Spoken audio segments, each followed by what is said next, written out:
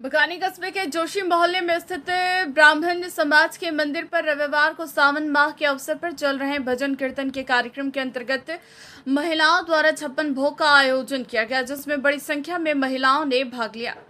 मंदिर पर पिछले करीब डेढ़ माह से सावन व अधिक मास के चलते भजन कीर्तन का कार्यक्रम प्रतिदिन चल रहा है। इसी क्रम को बरकरार रखते हुए महिलाओं द्वारा छप्पन भोग का विशेष आयोजन किया गया।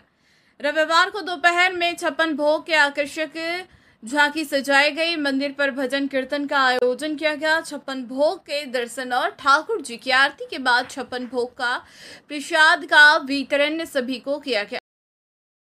ब्राह्मण समाज महिला मंडल अध्यक्ष रेखा गौतम, कोषाध्यक्ष कांता जोशी, लता जासू, कैलाश बाई सहित बड़ी संख्या में महिलाओं ने भाग लिया।